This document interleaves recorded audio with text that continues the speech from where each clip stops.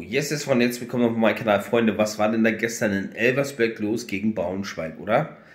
Also Szenen wie hier sieht, da bleibt dir einfach die Spucke weg und denkst, wie viele Idioten gibt es eigentlich, die so so einen Scheiß machen. Es schadet nur dein Verein, es bringt gar keinen weiter. Und da fallen auch noch Leute runter, da unfassbar, Witz. Ich, ich habe keine, keine, keine Worte dafür. Ich würde gerne mal wissen, was der DFB dazu sagt.